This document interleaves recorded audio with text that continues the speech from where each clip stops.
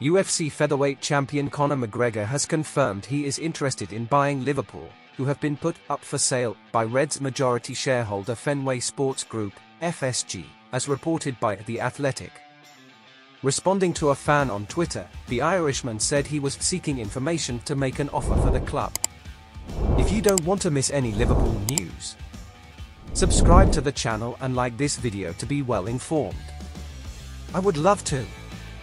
I requested information about it, yes. As soon as I heard. What a turnaround.